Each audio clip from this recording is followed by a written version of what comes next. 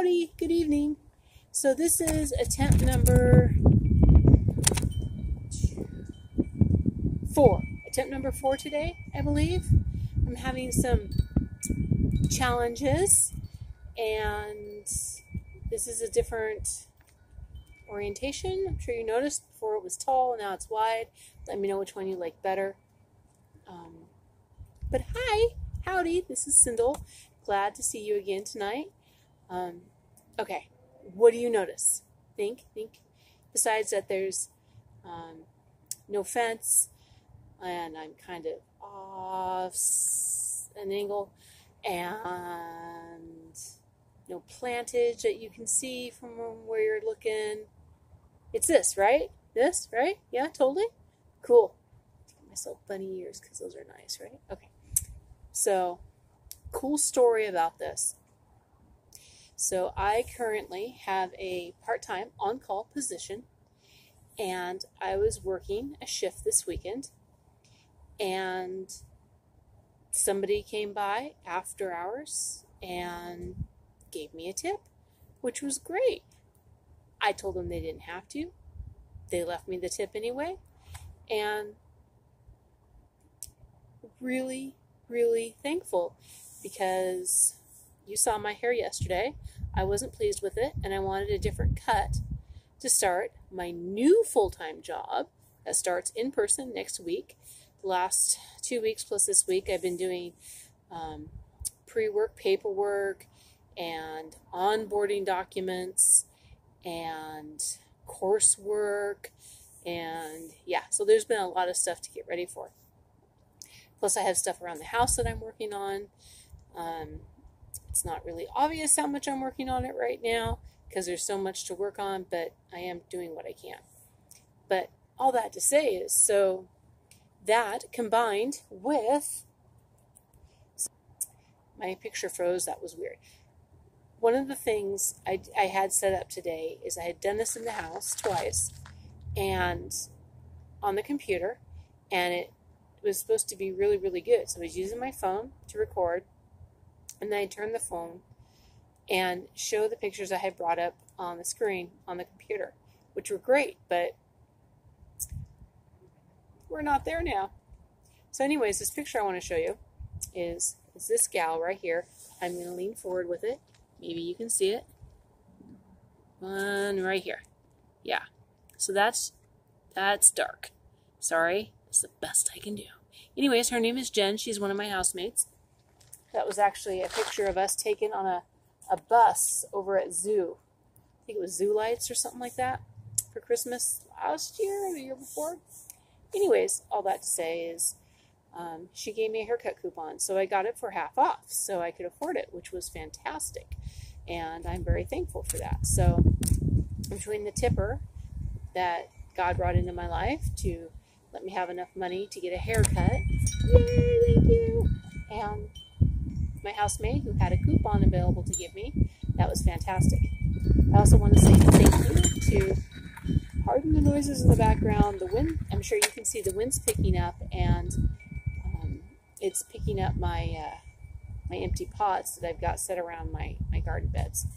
But anyways, so a few a few weeks ago, my friend. Oh wait, before I get that far, um, so I want to give a shout out and say thank you to Laura and Shanna for commenting and liking on um, my Facebook page this this video from yesterday. They went as far as to even, you know, subscribe to my YouTube channel, Cultivating Cindel, which I'm thankful for, and I really do appreciate that. So that was great of you guys. So I'm sorry I'm at this angle. I've just got this really weird ad hoc last minute setup. But anyways, a friend of mine from a different part of Oregon um, had posted a few weeks back these cute cards she had made, and one of them had a cat on them possibly two, but at least the one that I mentioned to her, I thought was absolutely beautiful. I loved it. And she asked me to give her my address, and she said that I might find something in the mail, which was really cool. I would have been happy with a photograph of her card. It was that pretty. But she sent me the actual card, and it came in the mail today. So it came without the blue. I just did that for personal security reasons for both of us. But the very first time I did this on the video today, I hadn't seen it yet. So I opened it for the first time on live, not really live, live now, but not when you see it, um, TV, video, and it was fun. And it was fun the second time, but it wasn't for the first time. And it's probably still going to be fun. Still not the first time. So you'll notice in the back there was this really cool butterfly. He got kind of mangled. But he got kind of mangled before he got to me. So um, he, he lost it in transit. But, you know, I got to give credit to the um, people at the USPS. Shout out to Kirby Hess. Hi, Kirby. Um, that's one of Jen's sisters, my housemate, Jen's sister. Um, she's got two because she's a sister too. So there's two of her. No, there's one of her, two sisters, and two brothers. So, anyways, shout out to Kirby. That's all I got. Anyways, so the USPS probably hand canceled things a long time ago, but I think that went out with the uh, Pony Express. Correct me if I'm wrong, Kirby. Um, so this, I don't know if you can see this, this is this really cool envelope edge. Isn't that cool? I like that a lot. It's really neat. So I love the butterfly and I love the card and I like that you wrote Miss Cindel. And check this guy out. Look at this. Is this beautiful or what? Look what she did. She totally did this by hand. Is that not awesome? And she also did um, something on the inside. She wrote on the inside, and I'm trying to cover that. There we go. Did I mention her name's Angie? But I wanted to show you that absolutely adorable ball of, of yarn with the little heart on it. Isn't that cute? So, so yeah, so this, I lost him. Okay. So this, so I'm really thankful to get that today. That was really fun. Um, I I feel like I'm at one of my first um, CERT exercises where we were out in the wind and I didn't have a way to batten down the paperwork and kind of a, kind of a wild ride there. So, yes. So, um, yes, I'm reading notes. You can't see me. I'm bending over all as far as I can go. Okay. Um, so, oh yeah, so the hair. So, I plan to dye it. I'm going back. I'm going back. Okay. I plan to dye it brown. I'm hoping that it that will come off without a hitch. Last time I tried to dye my hair brown, and I wanted to show you a photo of that, but it's on the computer or it's on the phone, but I can't do both. Sorry. Um, all this area, kind of like from here to here, um, because it's been dyed for so many years, wouldn't turn. It would it it would only go lighter. It would not go brown. So I had to actually dye my hair black, and then eventually let it go out and so we're gonna, I've got two boxes of brown. So we're gonna see how that goes. And we'll start with that this week. And hopefully it'll be a thing, a good thing, and I won't have to run to the store with a little bit of money I've got left and fetch black hair coloring. coloring. So we'll see how it goes.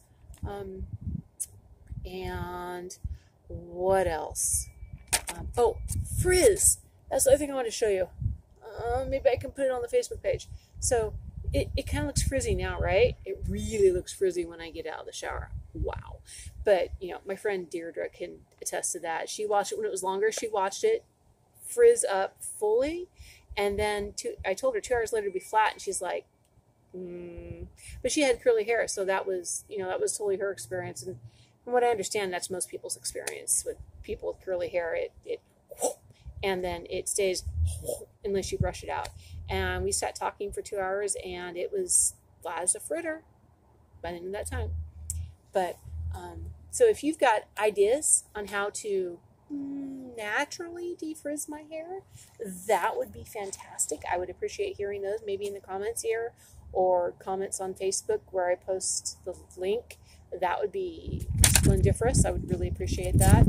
Um, the cheaper the better because right now, oh, because I haven't mentioned that. So I got a full time job starting in person on on Monday the 13th. I'm very excited about that, and and so that's that's it in a nutshell. I'm bending over to read my notes because it's been a long day, And oh, oh, oh, oh, I wanted, I wanted to. Okay, so yesterday at church, one of my friends, Jim Cunningham, told this great joke. Okay, are you ready for it? He will be handing out used batteries. No charge. Get it? That's my kind of joke. You know, no one gets made fun of. It's just really funny. I like those. So, um, hopefully, I conveyed that appropriately and it, it came across. Um, oh, I feel like I'm just staring at paper while you guys sit there and go, what is she going to say next? Um, oh, I've said um. How many times have I said um? Count it for me. Tell me in the comments, please. Thank you. I'm really hoping that this will post time. It's tried to upload. It's clogged. It's stuck. It's been interesting. Very interesting. A little frustrating, but interesting. Um, oh, there's another um. So the reason it's like this now and it was inside earlier is because I didn't get out here in time this morning before the um, the bake oven we call the sun was out and frying my skin. I am very susceptible to heat. Uh, Sunday night, um, afternoon and night, I got heat exhaustion twice. So that's that's a real thing for me, and I have some other challenges that go along with that. But it it fries me up pretty quick, and it chews me up and spits me out. So I try to avoid the heat. So hopefully tomorrow morning I'll be back on the ball better, and I'll be back out in the morning, and. But so the very first time I did this this afternoon in the house, I, I thought I had set the recording. I set the phone out and I talked. And it was an almost 12 minute presentation. And I was done and I went to go turn off the recorder. And I didn't have to. You know why? Because it hadn't recorded anything. Yay! Not yay. But I'm not sure how long this was going to be right now. I tried to shrink it down, but it might be between 11 and 12 minutes again. Hopefully not longer. But I just wanted to say there's a I'm, I'm really I really enjoy coming out here and talking with you guys, and there's a lot to chat about. I mean, uh, there's so much so much I'm interested in, and um, so much I want to learn and grow from, and so much I'd like to share. And if there's anything in particular you'd like me to chat about with you, let me know. Um, Laura talked about um, the, the personal first aid kit. So I wanted to, to mention this. Oh, it takes a few seconds to get together. So I like to hang mine on the outside of my purse because it's easier to get to. If I give myself a good old scrape and I'm bleeding, I don't want to be down here digging and bleeding on everything. By the time I find it underneath, you know, two books, five notepads, and, you know, a bevy of pins. So I like to keep my little cheers bag just hooked right here. And then I can just take the little tinny carabiner, pop it off if I switch a bag out. And because it's right here it reminds me to do that because I don't always really need this. So um, again this adorable cute cheers bag my niece Shanna gave me. So yay um, that's just the other thing I want to mention about that but so if you want me to talk more about the larger first aid bag I have or how I made a determination what works best for me in the personal first aid bag, or if you want to see my garden area I've been working on, or um, I'm kind of hoping to come out this week, depending on whether or not we have a fire ban again, because it's getting hot. And I, th- I, cut down as much mint as I could and threw it in the fire ring to like dry out. And then I want to light it up and light up the wood, put the grill on top, and sear some peppers and see how I can do, you know, making campfire chili rellenos. I love those things. Um, I had gotten a poblano and an Anaheim chili. So I'm, I'm looking, if you want to like come along with me while I do that, that's great too. So if something else is your cup of tea, let me know. I, I'd like to hear it. Um, just drop me a note and say howdy and tell me what, what, if any of those suggestions sound great or uh, if there's anything else, just let me know. So again, thank you for watching. Um, I used to be a my non-humble moment, pretty decent public speaker, but I haven't gotten to do a lot of public speaking for a long time. And if you don't use it, you lose it. So I'm really enjoying this also as an opportunity to strengthen my public speaking skills, which are clearly kind of weak um, right now. But I look forward to getting stronger at them again and um, not saying um so many times and not having to sit here with a notepad off camera as my personal teleprompter and keep glancing over at it. So, anyways, I hope you have a great evening. I my goal for tomorrow again is to get this out in the morning, at the very least get it recorded in the morning. And I hope you have a great rest of the week as well. And I look forward to seeing you tomorrow. And bye for now.